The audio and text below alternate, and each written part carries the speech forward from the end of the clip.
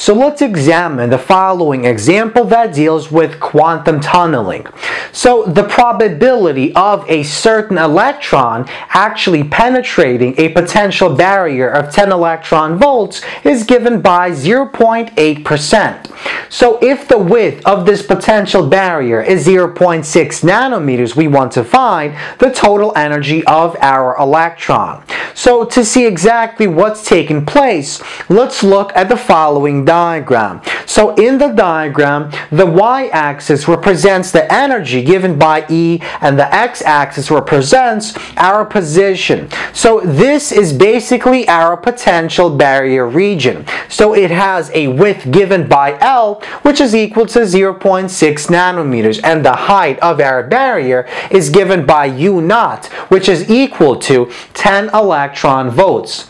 So 10 electron volts can be converted into joules by multiplying 10 electron volts by 1.6 times 10 to negative 19 joules. Uh, the electron volts will cancel and we're left with 1.6 times 10 to negative 18 joules.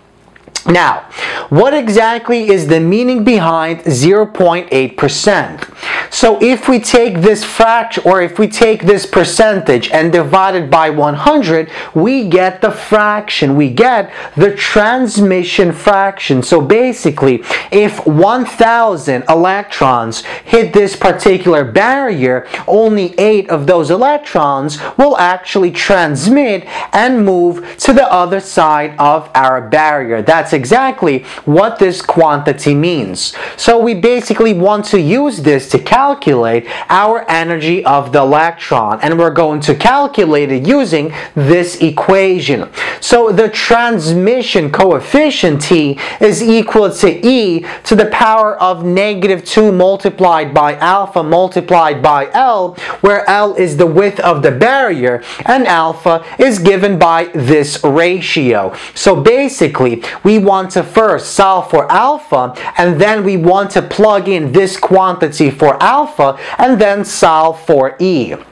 So, notice that alpha is equal to the square root of 2 multiplied by m, where m is the mass of that electron, multiplied by u naught minus e, where u naught is the height of our barrier, and e is what we're looking for. An h bar is simply our constant. It's equal to 1.05 times 10 to negative 34 kilograms multiplied by meter squared divided by seconds. So, using using all this information, let's begin with this equation and let's take the natural log of the left and the right side. So the natural log of the left side is simply natural log of t or ln of t. And if we take the natural log of our exponent e, that will disappear and we're left with negative 2 multiplied by alpha multiplied by L. So in the next step, we want to solve for our alpha. So if we solve for alpha, we see that alpha is equal to negative natural log of t divided by 2l. So now we take our alpha and we want to replace our alpha with this equation. So the square root of 2m multiplied by u naught minus e divided by h bar. So why exactly did we replace our alpha with this ratio? Well, that's because we want to find what that e is. So our next step is to rearrange our equation and solve for e. So let's rearrange this by bringing our h bar to the right side. We get the following result. And now, in order to get inside of the radical, we have to get rid of that radical. So we can take the square of the left and the right side. And we get the following result. And finally, if we divide both sides by 2m and we rearrange for our e, we get the following result. So the energy of that electron is equal to U naught, the height of the potential barrier given in joules, minus the square of negative h bar ln t divided by 2l divided by 2m, where h bar is a constant, t is the transmission coefficient. To get the transmission coefficient, we take our percentage and divide that by 100. L is the width of the barrier barrier and m is the mass of our electron 9.11 times 10 to negative 31 kilograms. So we plug in our quantities and we note that the L, the width, must be given in meters. So to convert from nanometers to meters, we take 0.6 and multiply it by 10 to negative 9.